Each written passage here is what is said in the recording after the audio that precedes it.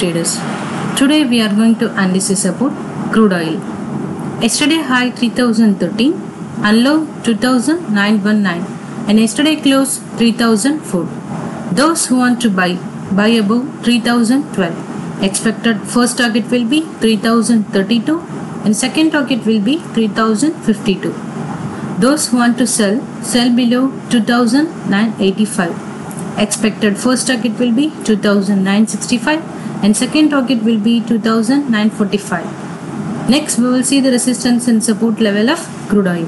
Resistance level 3034 and support level 2905. Yesterday crude oil both buy and sell target was achieved and profit rupees 8000. Thank you.